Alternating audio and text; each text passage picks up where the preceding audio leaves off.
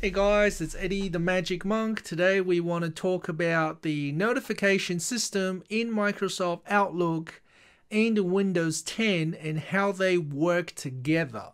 So you can see here right now I'm in Microsoft Outlook and I'm just going to quickly create an event and see what happens. So right now we are the 3rd of May, so 3rd of May is right here and I'm going to create an event. Um, so I'm going to right click, new appointment. Okay, and I'm going to make the event or the appointment at 9 p.m., which is 20 minutes from now. And I'm just going to say dinner. So I have a very late dinner today, and I'm going to set the reminder time as 30 minutes. So I'm going to save that. And you should see that I get this reminder. Okay, now this reminder is within Microsoft Outlook, but the Windows notification system, which is on the bottom right hand corner, has an action uh, center, and the reminder could potentially come up here instead of here.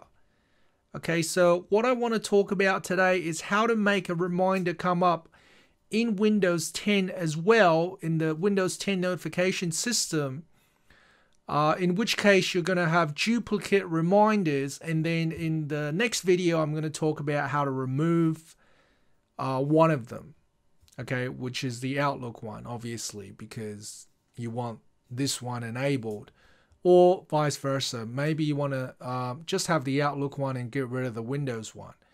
Uh, so how do you make this notification occur in the action center as well in the Windows notification system? Well, there is no direct setting in the Outlook app. Okay, what you need to do is if you want calendar events to occur in the Action Center, then in Windows 10, you need to open the Calendar app.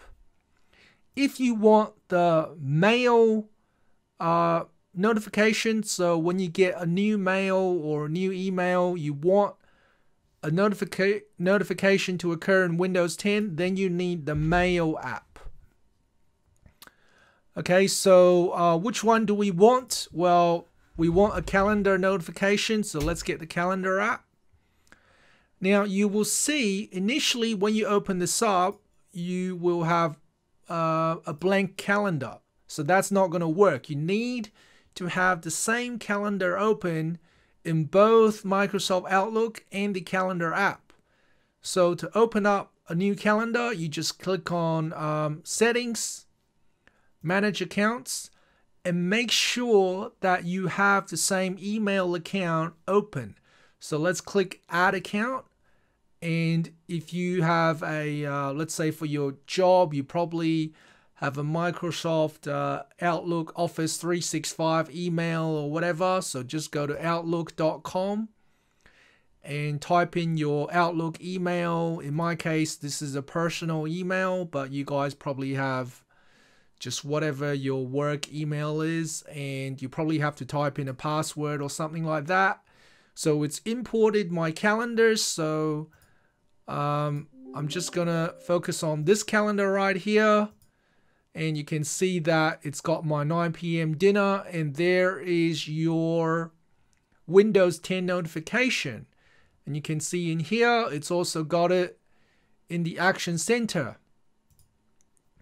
Okay, so let's say that you have opened up the calendar um, app and you've got the you've got the calendar event, but um, it's not showing up here.